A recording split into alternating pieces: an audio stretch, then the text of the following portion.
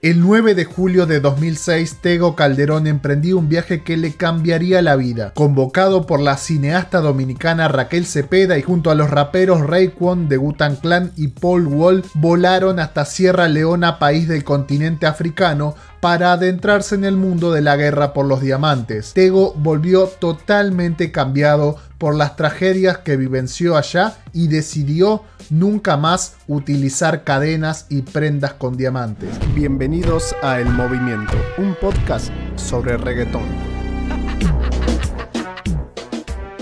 Hola gente, ¿cómo están? Sean bienvenidos a un nuevo episodio de El Movimiento, un podcast sobre reggaetón. Hoy vamos a hablar sobre el viaje de Tego Calderón a Sierra Leona en África en el marco de la grabación de un documental llamado Blink a Planet Rock que tenía como objetivo acercar a figuras relevantes del rap y el reggaetón a la compleja y terrible historia de la guerra por los diamantes. Como todos sabemos, las cadenas, las prendas, las cubanas, el bling bling es un accesorio bastante fundamental para todo reggaetonero. Una costumbre que desciende de los primeros raperos norteamericanos de los 80, quienes comenzaron el amor por la joyería. Por supuesto que en el reggaetón tenemos todo tipo de cadenas famosas que son tan icónicas como el artista que las lleva puestas y en los comienzos de Tego Calderón este también supo tener ese bling bling característico que lo vemos lucir en videos como Métele Sazón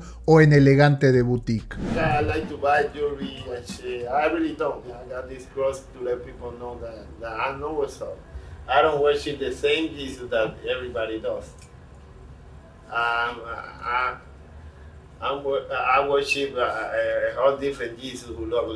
Tego siempre se ha caracterizado por ser un artista con una sensibilidad social distinta a la de la mayoría de sus colegas y al estar inmerso en la cultura del reggaetón adoptó ciertas prácticas como la utilización de una cadena de oro para poder ser parte de ese movimiento. No me gustan las prendas, nunca me gustaron, era algo que hice por estupidez eh, de, seguir una moda de que todos usaban prendas. Calderón ha tenido siempre inquietudes acerca de los lujos materiales, las desigualdades sociales, las injusticias.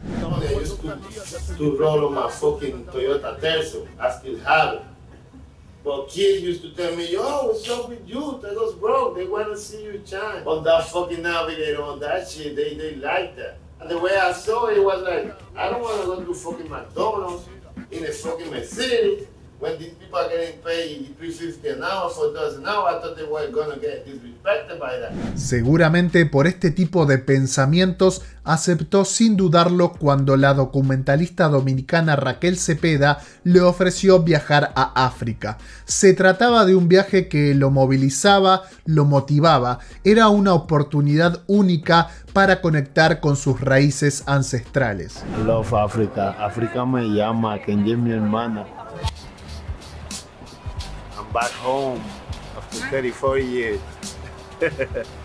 Si bien Tego nació en Santurce, su infancia está fuertemente vinculada e impregnada de las vivencias en Loíza, Río Grandes y Río Piedras. Loíza es un lugar mayormente conocido por ser uno de los sitios que más enraiza la herencia de la cultura negra en Puerto Rico era un puerto donde los esclavos negros desembarcaban y eran distribuidos hacia diferentes lugares de Latinoamérica. Era un lugar al que Tego iba constantemente con su padre y participaban de las actividades que sucedían en el barrio, como la fiesta de Santiago Apóstol o los bailes de bomba. Esas experiencias cercanas a actividades con mucha herencia africana sin dudas marcaron un camino en Calderón. ¿De dónde viene Me inculcaron de esta cultura desde la cuna, agradecido de esta negrura.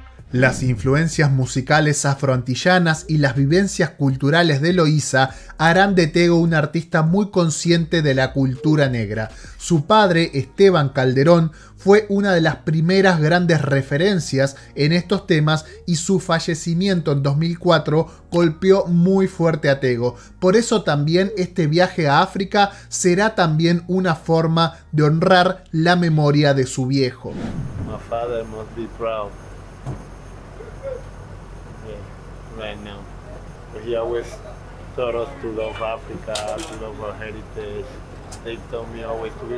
me of being black and all that.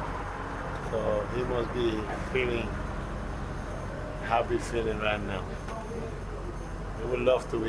Al país que se dirigía Tego Calderón, Sierra Leona había sufrido 10 años de guerra civil y en el marco de aquel enfrentamiento se cometieron todo tipo de crímenes atroces donde las mujeres y los niños se llevaron la peor parte. Las violaciones y los niños reclutados como soldados eran prácticas totalmente cotidianas. La principal fuente de ingresos para la compra de suministros y armamentos para la guerra provenía de la extra extracción del mayor recurso natural del país, los diamantes. Uno de los bandos en la guerra controlaba el 80% de los yacimientos y al extraerlos por fuera de todo tipo de regulaciones y comercializarlos ilegalmente costaban mucho más baratos que otros competidores. Estos fueron los denominados diamantes de sangre. Desde 1991 hasta 2001 estalló una guerra particularmente brutal, una guerra en parte financiada con diamantes. En Sierra Leona, Tego Calderón fue adentrándose en las historias de aquel país sumido en la pobreza y las tragedias. Escuchó los testimonios de un ex niño soldado, visitó la zona donde durante la guerra se disputaban el ingreso a las minas de diamantes, fue testigo de la gran influencia que el rap norteamericano tenía en los jóvenes. A cada paso las historias eran más crudas, más escalofriantes. Se encontró Tego visitando un centro de amputados, un centro de niños afectados por la guerra, quienes a pesar de todas sus tragedias recibieron a Tego con una alegría inmensa. National Commission for War Affected Children. This is they were called butch wives. Uh, these are children that have been abused by the rebeldes during the war period. So it's really fucked up. Uh, so. Calderon.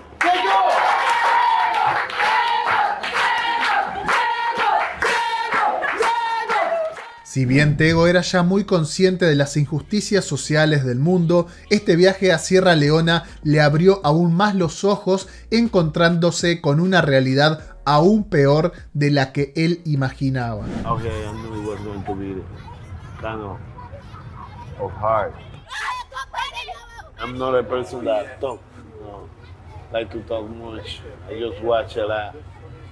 I've been like that since I was a.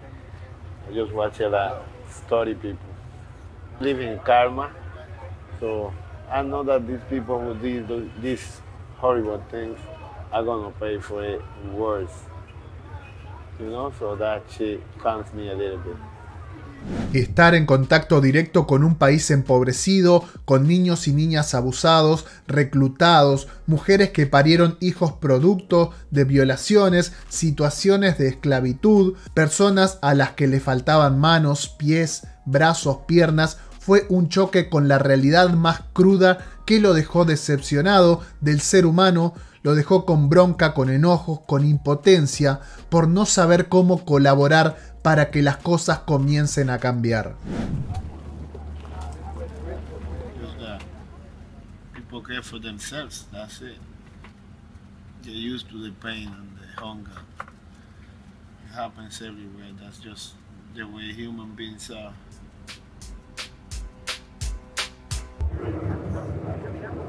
It doesn't feel right because I'm doing nothing. At least if I was doing something, it would be different. But Lo más inmediato que tenía Tego para colaborar con aquella realidad tremenda que había vivenciado en primera persona era dejar de utilizar cadenas. No más bling bling para Tego Calderón, que abandonó aquella pieza de oro y diamantes con su cara. Yo llegué a comprarme una cadena que era mi cara. Era en oro, pero tenía diamantes también en el afro. Y una prenda bella, una pieza súper linda. Yo fui un viaje en Sierra León y dejé las prendas. Sin ni un brillante manchado de sangre a lo indio Primitivo de la. El viaje a Sierra Leona será un punto de inflexión en la vida de Tego, no solo a nivel personal, sino también a nivel artista. Meses después de aquella travesía, saldría su disco The Underdog, El Subestimado, álbum que fue descrito por el mismo Tego como oscuro y reflexivo, ya que la muerte de su padre lo había afectado muchísimo y el viaje a África había sido un antes y después para él también. The whole way I, I look at, at life. Everyday situations, my kids, everything's different. I'm grateful for life, grateful for having my family, grateful for, for anything. Didn't go to school, but I went to Africa. I feel proud of it, real proud.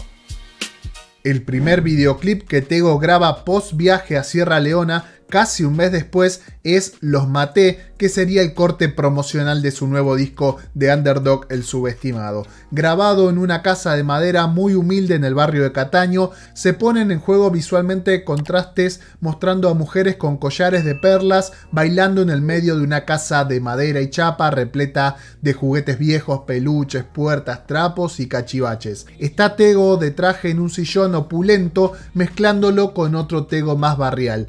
Mostrar estas diferencias, estos contrastes entre el barro y lo elegante son una herencia directa de lo que fue su viaje a Sierra Leona. Viaje al que asistió también Cacho López, el director de este video, en el que incluyeron dentro de unos marcos muy elegantes y finos fotos tomadas en África por ellos mismos. Ya yo había ido este, con Tego a Sierra Leona y esa fue extensa de verdad. Y estuvimos allí 7, 8 días que fueron tensos al punto de que cuando nos montamos en el avión de vuelta a Londres, todo el mundo, el 100% del crew que iba en ese avión, empezamos a llorar cuando el avión despegó las, gomas de abajo así, así, y empezó a volar. Todo el mundo, sin, sin excepción, empezamos, o sea, no pudimos aguantar el, era, fue como un release de la tensión que habíamos pasado Al año siguiente, en 2007, cuando Tego sacó otro proyecto para despegarse un poco de aquella oscuridad que para él le había significado el disco El Underdog, en el videoclip de Alegría de la Vallar de Contraataca podemos observar muchas imágenes de aquel viaje a Sierra Leona, tal vez ahora procesadas de otra manera por Tego, ya que la canción habla de lo bonito de la vida y él, allá en Sierra Leona, tomó conciencia del valor de las cosas mínimas, las más comunes y cotidianas. I'm very conscious about what I talk, about what I read, about what I see, and I know it makes an impact in, in other people's lives. But sometimes we sit down and try to to say that life is fucked up for us for stupid things, like your car broke down, like you don't have no light, you don't have no cable, shit like that. And when you, there's bigger problems in life. Ingrato, hay quien no tiene para darle a sus hijos un plato de comida y tú quejándote por sanganería. Bueno gente, hasta acá el episodio de hoy, espero que les haya gustado, recuerden suscribirse al canal y recuerden seguir las redes de El Movimiento en Twitter, Instagram y TikTok. Nos vemos en un próximo episodio, chao.